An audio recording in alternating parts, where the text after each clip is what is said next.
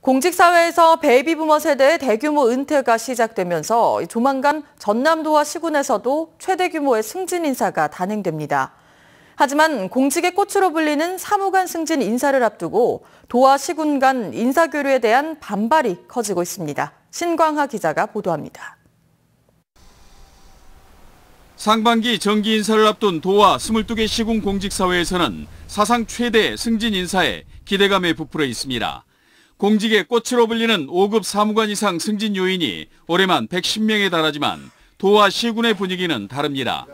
인사교류 협약에 따라 시군은 승진 인원의 일부를 전남도에서 받아야 하기 때문입니다. 그래도 전남도 많이 저희들이 많이 싸움을 했어요. 환경만 지사, 박대현 지사 시절에도 많이 싸웠고 네.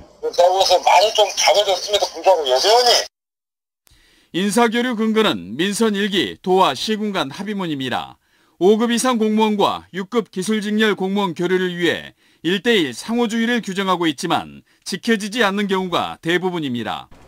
99년 당시 도 승진 인원에 맞춰 시군별로 4자리씩 배정됐던 사무관 자리는 자연 감소하면서 폐지된다고 하지만 지금도 한두 자리씩 유지되고 있습니다. 더구나 일부 시군은 특정 직렬만 도청 승진자를 받도록 돼 있어 내부적으로 갈등을 빚고 있습니다. 이제 지사와 전남전매와 사체 교섭을 하는데 예. 이 인사 부분 이게 언제까지 계속 이렇게 할 거냐 도청 처리가 될 거냐 예. 이런 것들은 시군에서도 막아줘야 되지 않겠냐.